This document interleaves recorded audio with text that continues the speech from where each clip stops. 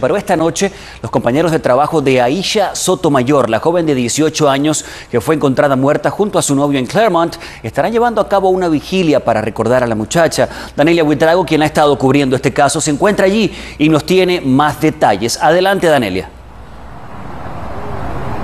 Sí, muy buenas tardes, Edgar. Decenas de personas se han congregado cerca de esta cadena de comida rápida para despedir a Isha Sotomayor y a Gustavo Delgado, la joven pareja de Claremont que fue reportada como desaparecida el pasado 13 de junio y cuyos cuerpos se encontraron este lunes. Según los familiares, la policía indicó que fue justo aquí en este estacionamiento cerca de este McDonald's de comida rápida donde se encontró el automóvil con los jóvenes adentro. Hoy todas estas personas han venido aquí a dejar estas flores, a dejarles un homenaje y a recordarlos como los jóvenes, jóvenes alegres y responsables que según estas personas, Gustavo y Aisha, eran, es, ha sido sin duda una jornada bastante sentida. Llegaron al estacionamiento donde esta joven trabajaba, lanzaron globos al aire,